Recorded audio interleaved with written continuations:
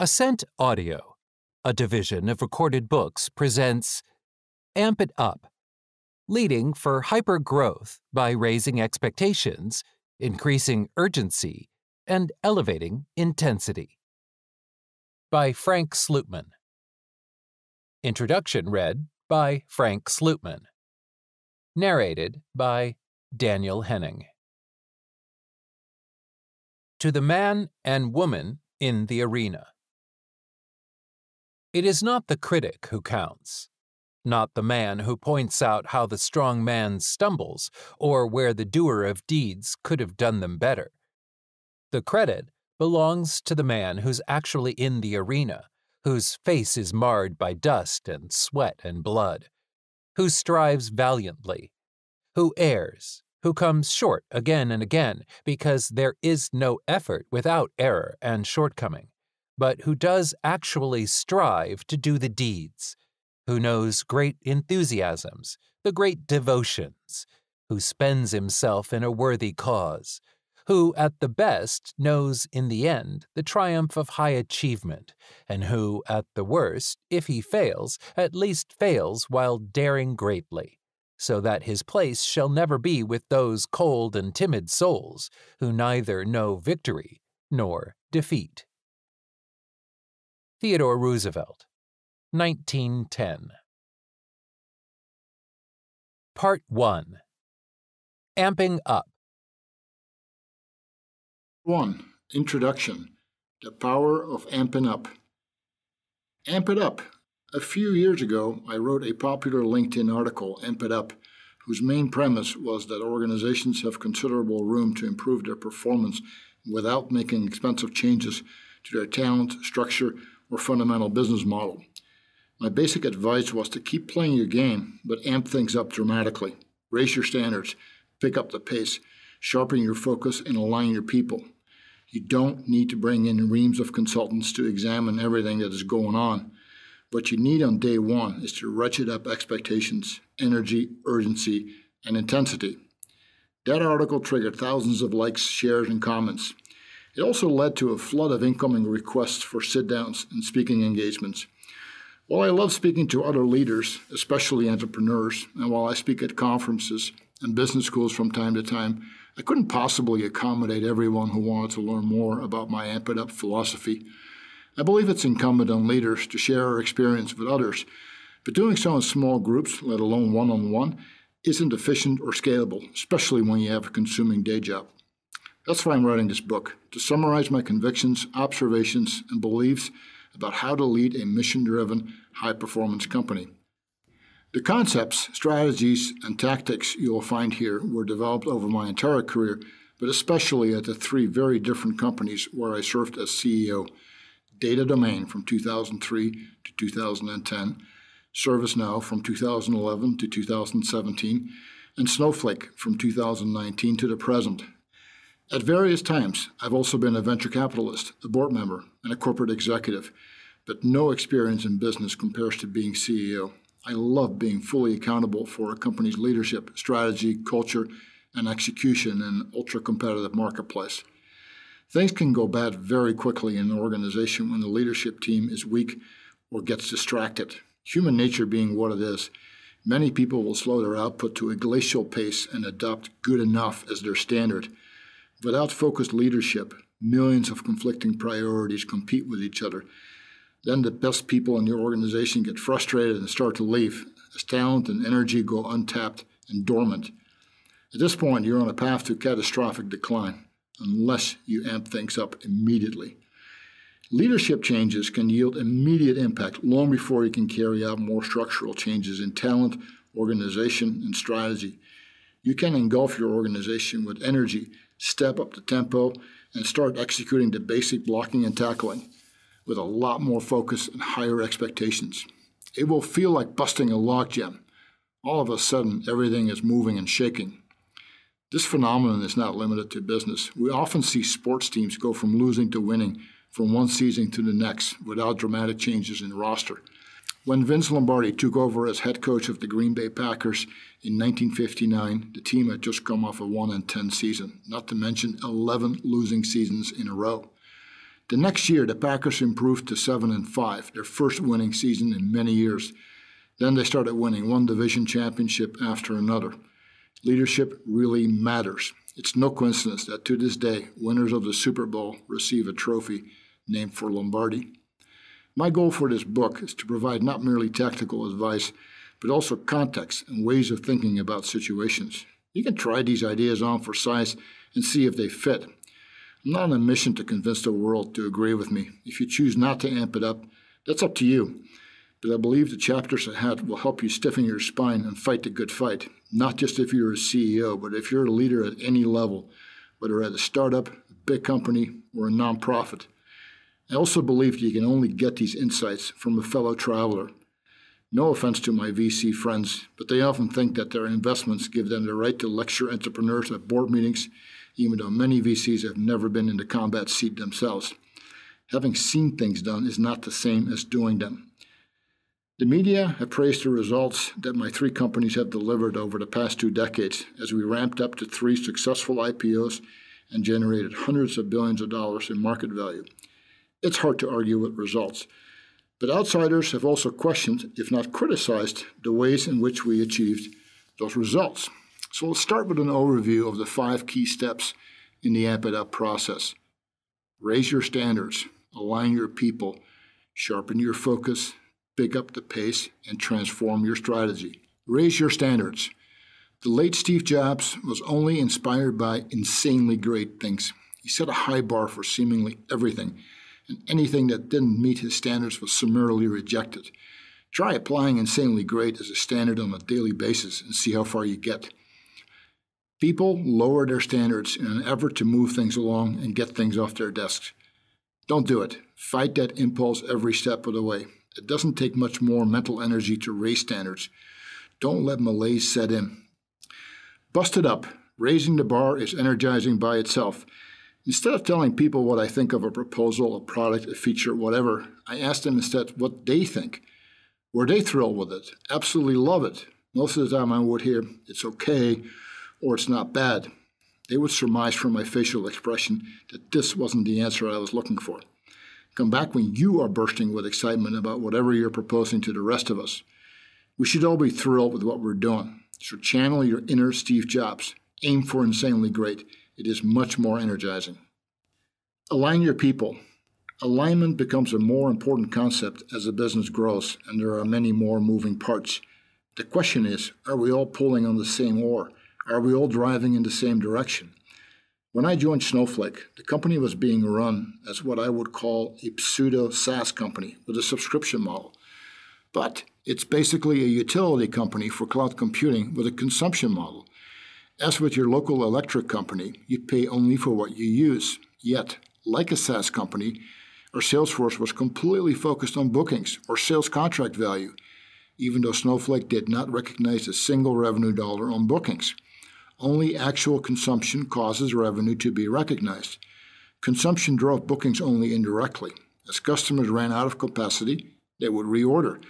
This lack of alignment was everywhere. Reps only marginally cared about consumption, and many customers were oversold on bookings, which led to smaller renewals, or what we call downsells, in future periods. The cost of commissions was out of whack with revenues because there was no direct relationship between sales compensation and revenues. It took a few quarters to transition the company to consumption. Consumption became our middle name. We now looked at everything through the lens of consumption. We got better alignment. Where alignment matters further is in incentive compensation. We pay everybody the same way on our executive team, and we have a very select, focused set of metrics that we pay bonuses on. Our sales exec does not get paid on a commission plan if the rest of us aren't. Everybody knows what we're aiming for. Another source of misalignment is management by objectives, which I have eliminated at every company I've joined in the last 20 years. MBOs cause employees to act as if they are running their own show. Because they get compensated on their personal metrics, it is next to impossible to pull them off projects. They will start negotiating with you for relief. That's not alignment, that's every man for himself. If you need MBOs to get people to do their job, you may have the wrong people, the wrong managers, or both. Sharpen your focus. Organizations are often spread too thinly across too many priorities, and too many of them are ill defined. Things tend to get added to the pile over time, and before we know it, we have huge backlogs. We're spread a mile wide and an inch deep. The problems with pace and tempo are, of course, related to having too much going on at the same time. It feels like swimming in glue, moving like molasses. Leaders can do two things that bring almost instant benefit. First, think about execution more sequentially than in parallel. Work on fewer things at the same time and prioritize hard. Even if you're not sure about ranking priorities, do it anyway. The process alone will be enlightening. Figure out what matters most, what matters less, and what matters not at all. Otherwise, your people will disagree about what's important. The questions you should ask constantly What are we not going to do? What are the consequences of not doing something? Get in the habit of constantly prioritizing and reprioritizing. Most people have a relatively easy time coming up with their top three priorities. Just ask them. As an exercise, I often ask if you can only do one thing for the rest of the year and nothing else, what would it be and why? People struggle with this question because it's easy to be wrong, which is exactly the point. If we are wrong, resources are misallocated. That's concerning. But we avoid these pointed dialogues because it's easier to list five or ten priorities. The right ones may not even be buried in there somewhere. Priorities should ideally only be used as a singular word. The moment you have many priorities, you actually have none. At ServiceNow, I had such a what is the one thing conversation with our new chief product officer. Product organizations have a million things to do, and they really need to elevate their thinking to see the forest for the trees. This was not a quick or easy conversation because it's easy to lose sight of the big picture when drowning in day to day obligations. I knew what I thought the answer should be, but would the chief product officer see it the same way? Did he even have a top priority? What we arrived at was a singular focus on fashioning our rather industrial user experience to a consumer grade service experience. This was not a short term project. It will require a long term shift in strategy, if not engineering culture, with sustained effort. It was important to the company's future, yet also hard because it required changing our DNA. Our customers were IT people who had a high tolerance for these rather industrial, not very user friendly experiences. The company had to forcibly move itself away from where it had come from. Having clarity is key, or people will just chip away at a problem without significantly moving the needle. Intentions are often good, but they are then under prioritized, under resourced, and not fully crystallized. Vagueness causes confusion, but clarity of thought and purpose is a huge advantage in business. Good leadership requires a never ending process of boiling things down to their essentials. Spell out what you mean. If priorities are not clearly understood at the top, how distorted will they be down the line? Pick up the pace. In a troubled organization, there is no rush, no urgency. Why? People have to be there anyway, so what is the point in moving faster? If you've ever seen the inside of a California Department of Motor Vehicles, you know what that looks like. The staff doesn't start moving until 4 p.m. because quitting time is 4:30 p.m. and that backlog has to get cleared so everybody can depart on time. The rest of the day, who cares? They have to be there anyways. Leaders set the pace. People sometimes ask to get back to me in a week, and I ask, why not tomorrow or the next day? Start compressing cycle times. We can move so much quicker if we just change the mindset. Once the cadence changes, everybody moves quicker, and new energy and urgency will be everywhere. Good performers crave a culture of energy. It's not a one time thing, it's not an email or a memo. It's using every encounter, meeting, and opportunity to increase the pace of whatever is going on. Apply pressure. Be impatient. Patience may be a virtue, but in business it can signal a lack of leadership. Nobody wants to swim in glue or struggle to get things done. Some organizations slow things down by design. Change that ASAP. Transform your strategy. Much of this book is about execution, especially developing relentless execution on your core mission. But that doesn't mean that strategy doesn't play an exceedingly important role. Once you know how to execute, you will become a better strategist, and strategy can become a force multiplier to your efforts. Transforming your strategy will require you to widen the aperture of your thinking about the business model to reach new and bigger markets. You will need to develop peripheral vision, like a quarterback on a football field.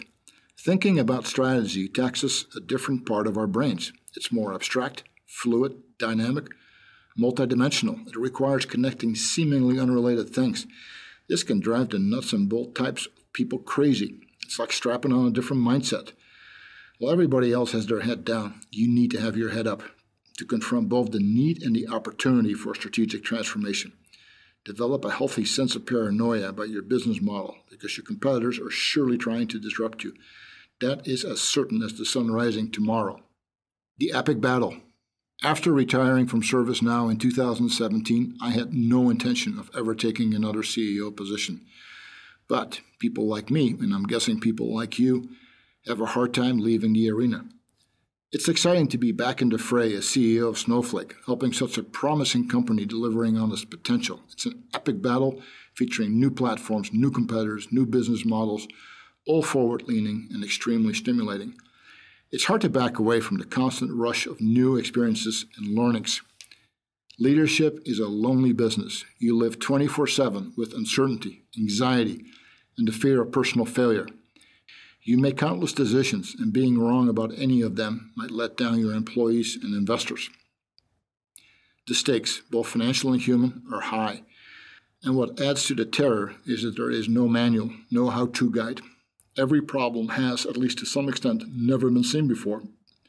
In particular, early stage enterprises often feel like they're shrouded in the fog of war. My hope is that the chapters ahead will help you see through the fog establish context, sort out your options, and amp up your organization on the road to success. 2. My journey from teenage toilet cleaner to serial CEO. Before we continue, I should give you some background on how I developed and arrived at my amp it up approach to business.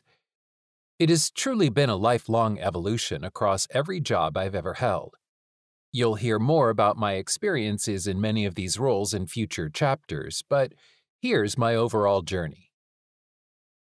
A childhood grounded in discipline. There's not much in my background that would foretell success as a Silicon Valley CEO. I grew up in a middle class family in my native country of the Netherlands.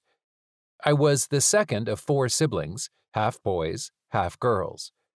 We were never deprived of life's essentials, but there wasn't any money left over at the end of the month either. My father was a veteran of two wars, and although he retired from active duty in the 1950s, there was a measure of discipline in our household. Walk straight, shoulders back, don't slouch. Proper meal etiquette, nobody chowed down until everybody was properly seated, and somebody said, Eet smakelijk the Dutch language equivalent of bon appetit. Quick correction on improper use of silverware. Greet people with a firm handshake and look them in the eye. Never address elders by their first name. Don't let them catch you doing nothing, or they would find a chore for you to do. Play outside, never inside. I had an episode in my early teens when my school grades were failing. My dad didn't say I needed to get better grades, merely that I had to work up to my potential. As long as I worked hard, he would accept the results. But he had to be carefully convinced that I was in fact putting everything into it. That may appear to be a liberating way to have your parents think about failing grades. In reality, you became haunted by never doing enough, that you're failing to do as much as you're actually capable of. In my teens, I held summer jobs that fueled my ambition. I harvested tulip bulbs at a farm in North Holland, walking the fields behind a tractor 10 hours a day in any weather. I also cleaned factory toilets one summer in the plant where my dad worked. There were at least a thousand people working there, and I cycled through every bathroom facility between 9 and 5. I had a supervisor who inspected my work, but he often got to bathrooms I'd cleaned first thing in the morning many hours later, after hundreds of people had used them. When he criticized my work, I complained about it to my dad. His answer was stark. Well, those are the kinds of people you will be working for if you don't get better grades. I was 16. This mentality of living up to your potential has kept up with me ever since. I'm not so much focused day to day on outcomes. I'm focused on maximizing the input side of the equation. doing everything we can to the best of our abilities. It's like marathons or triathlons, which are 99% training and 1% racing. This is a hard model. You never feel you're doing enough, and a sense of malcontent hovers over you. You need like minded people around you for this to work. It also causes us to be not good at celebrations. We're so focused on the next thing that victory laps and self congratulation are not in our DNA. They feel like we're jinxing ourselves. Instead, we always focus on the challenges in front of us. Landing in the USA. I graduated cum laude from the Netherlands School of Economics, Erasmus University, Rotterdam. I never failed a single exam, and I moved through the curriculum quickly.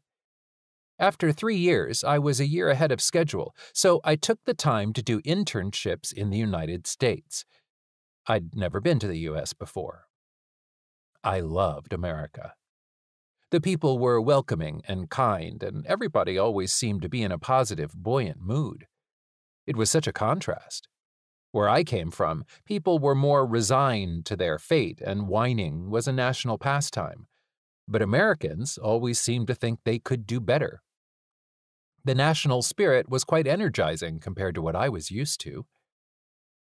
I returned to Holland a year later to finish school, write my doctoral thesis, and graduate. I was the only one in my family to graduate from university. Meanwhile, I was offered a follow up internship, which led me back to the U.S.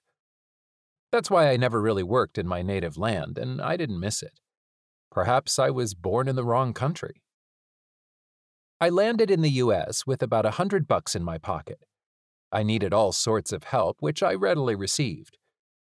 Somebody handed me the keys to a 1974 Buick LeSabre and said, Pay me when you can, and walked away people were amazing. Since my internship at Uniroyal was temporary, I needed to land a real job and get my career going. Easier said than done. I spoke with a thick accent, fresh off the plane, with credentials that were hard to pronounce, let alone explain. Uniroyal was a tire company that also made Naugahyde upholstery, a real smokestack industry. I was taken aback by what I saw there layoffs, unions, evaporating markets. Back then, we thought the computer industry was the future.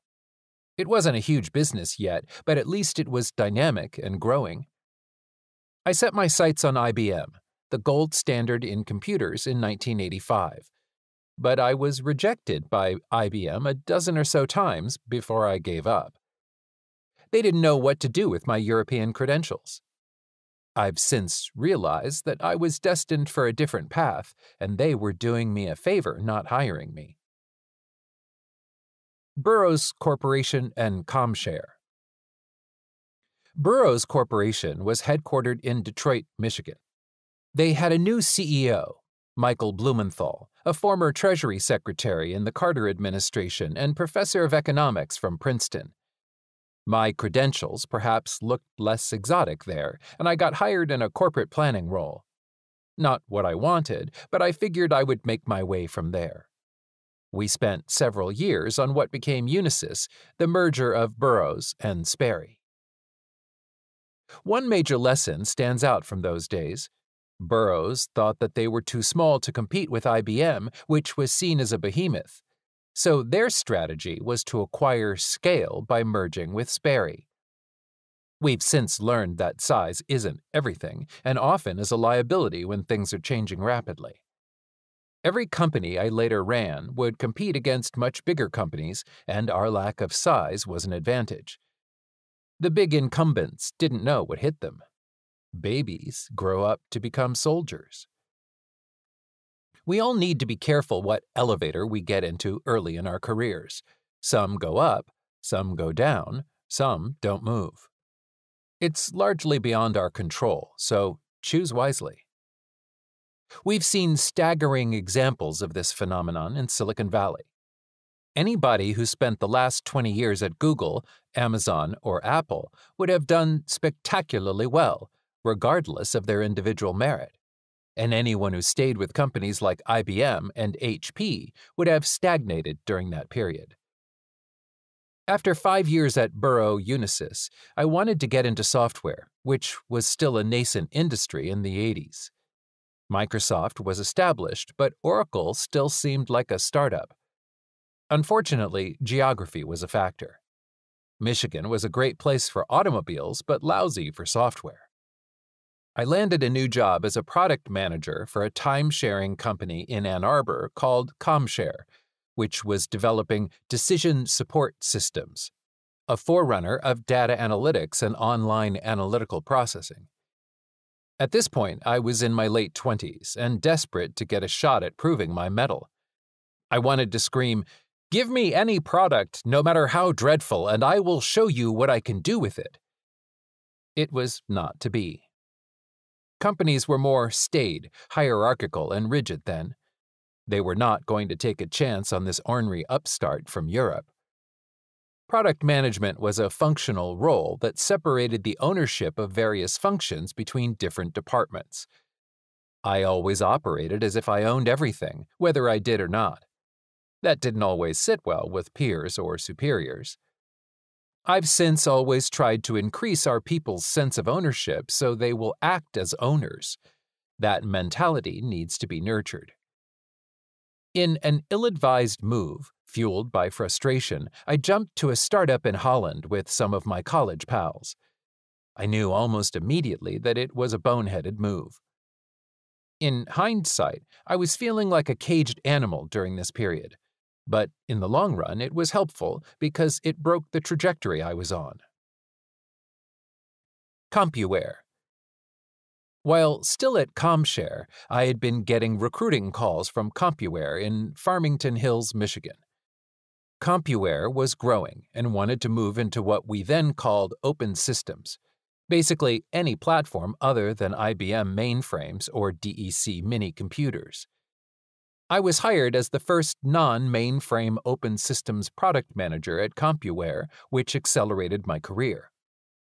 Within seven years, I would rise to VP and General Manager, and I'd be well prepared for bigger challenges. I only spent 18 months or so in their Michigan office. CompuWare happened to acquire a Dutch company called Uniface, which developed cross platform applications software.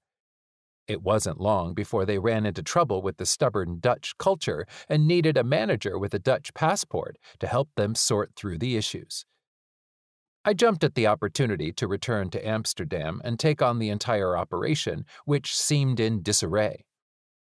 Colleagues warned me not to go because the place could not be saved, and they thought I would go down with the ship. CompuWare had bought Uniface toward the end of its viable product cycle.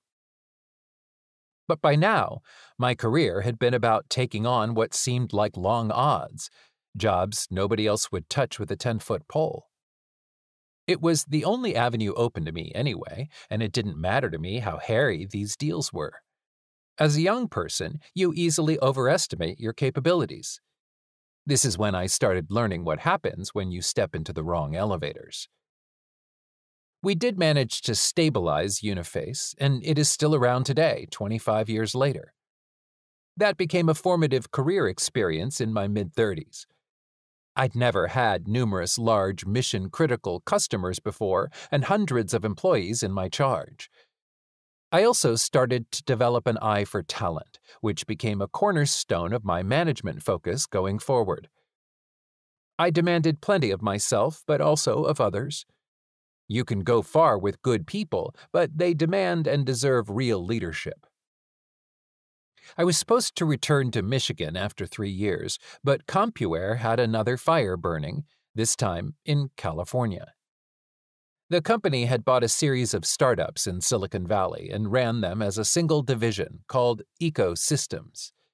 The set in their ways Midwestern conservative values ran headlong into an ascending Silicon Valley. I arrived there in late 1997, the height of the tech bubble. Companies were going public on the strength of their eyeball metrics, not growth or profits. We were caught between a rock and a hard place. the traditional conservative business culture of the Midwest on the one hand, and the radical entrepreneurial ways of Silicon Valley on the other. We stabilized the struggling product lines we managed there, but we kept losing good talent because headquarters wouldn't let us match the salaries and equity offered by the dot coms. Skilled workers flocked to other companies that were giving out promotions, pay raises, and share grants like Halloween candy. It was nuts. We had a sizable recruiting operation, but people left faster than they arrived. We coped in ways I've used ever since hire people ahead of their own curve. Hire more for aptitude than experience and give people the career opportunity of a lifetime. They will be motivated and driven with a cannot fail attitude. The good ones would grab the opportunity to accelerate their careers with us. I still try to hire more for aptitude than experience. We don't always require been there, done that types. Checking boxes on a resume is easy. Assessing aptitude is harder. Look for hunger, attitude, innate abilities. Perhaps look for the same career frustrated person I'd been all these years. It was quite satisfying to turn this into a high powered strategy to drive business. I ended up with better, cheaper, more loyal, more motivated talent than we would have with a conventional hiring mentality. It does come with risk, but there's always risk in hiring. I've misfired with great resumes plenty of times. Borland. Mid year 2000, I cut the CompuWare cord and joined Borland as SVP of Product Operations, basically running everything except sales and corporate functions. Borland was another former name brand high flyer with a loyal, if not fanatical, developer following. But it had fallen on hard times, even changing its name to Inprise. We changed the name back and resurrected the Borland brand and business. Borland did well on the Sun Microsystems Java platform with its line of software developer tools. Now pushing 40, I was still taking on problem children. Having left the Midwestern womb of CompuWare, I started to become more networked in Silicon Valley. You can go to an infinite number of meetings in Silicon Valley. Recruiters, venture capital firms, and any number of companies that want to buy, sell, invest, or hire. The place sometimes feels like a single beehive that is reconstituting new companies all the time. I quickly learned that my seven years at CompuWare and all the things I'd done there impressed few people in the Valley. I did start getting calls for CEO roles of startups in trouble, basically the bottom of the venture pile. I was cautioned along the way by industry friends to hold out as long as it took. Avoid the second and third string deals, which would probably be elevators to nowhere. I got rejected for better deals over and over with the same excuse you've never run sales. While that was true, I was, in my own estimation, a highly sales oriented product person. How would I ever check that box? You don't just cross over into sales after having been a product person all your career. I led from the front and sold shoulder to shoulder with sales. These rejections left me with an unfavorable opinion of many venture capitalists who could not recognize talent if it smacked them in the face. I would later get some satisfaction over the naysayers by serving as CEO of three of the fastest growing companies in Silicon Valley history. Data Domain Finally, in the spring of 2003, I got tapped for an early stage startup called Data Domain. It had no revenues, no customers. What piqued my interest was the investors. Aneel Bhusri of Greylock and Scott Sandell of NEA, accomplished VCs from top tier firms. They saw through my unconventional credentials and that I would simply refuse to fail. Data Domain had a founder, Dr. Kai Li, a computer science professor who had to go back to Princeton in the fall, and they needed a CEO. I became the first and only CEO of Data Domain in July 2003. At that point, Silicon Valley was a wasteland following the bursting of the dot com bubble. The talent game was easier because of sagging demand, but raising venture capital was hard. We hope you enjoyed this preview. To continue listening to this audiobook on Google Play Books, use the link in the video description.